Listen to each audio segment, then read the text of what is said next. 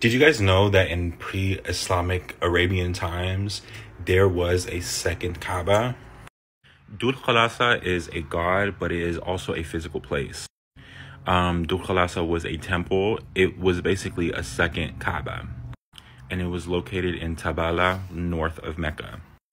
Dul Khalasa used to have a big white quartz idol and some sources describe it as being a large pillar with a crown on top of it, and it was also referred to as the Yemenite Kaaba.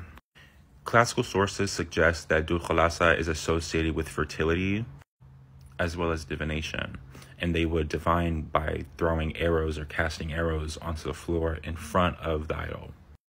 And there is a lesser known um, quote from the Prophet Muhammad which says, the hour will not come until the buttocks of the women of Daus are set in motion while going around Dul Khalasa. Mind you, the idea of doing tawaf around the Kaaba is very old. It is not something that came originally from Islam. This was something that the pagans practiced because above Kaaba or above um, that area of the of the Middle East, I forgot the name of the star, but there's a star in the sky that does the same thing. It circles around another star. They're copying what they see in the sky.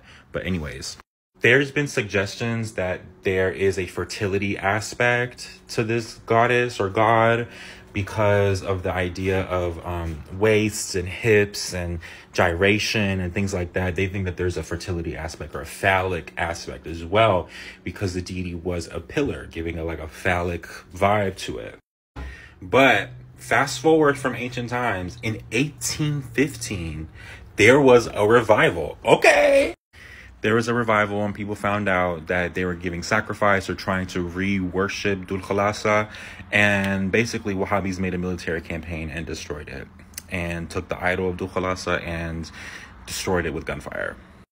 Pre Islamic paganism has always existed, and whether Islam likes to recognize it or not, some of its practice are adopted from paganism. Thank you.